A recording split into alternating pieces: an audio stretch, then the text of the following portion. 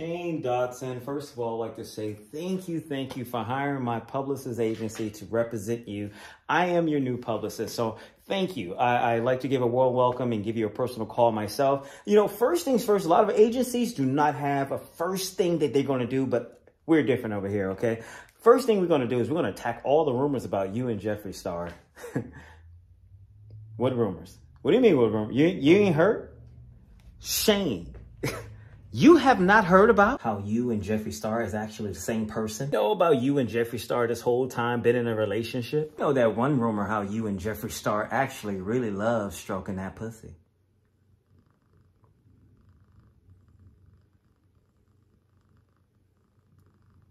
It was that one rumor, that one, oh, oh yeah, yeah, when you guys all took that break and everything like that, and, and that's when you guys went to a private island and you guys got married and everything like that, but that ain't true.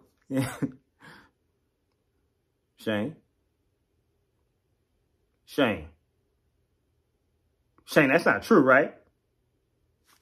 Shane? Oh, and how you guys got that matching tattoos that says, I'm not a racist. Shane Dawson, you have not denied it. Did you get married to Jeffree Star?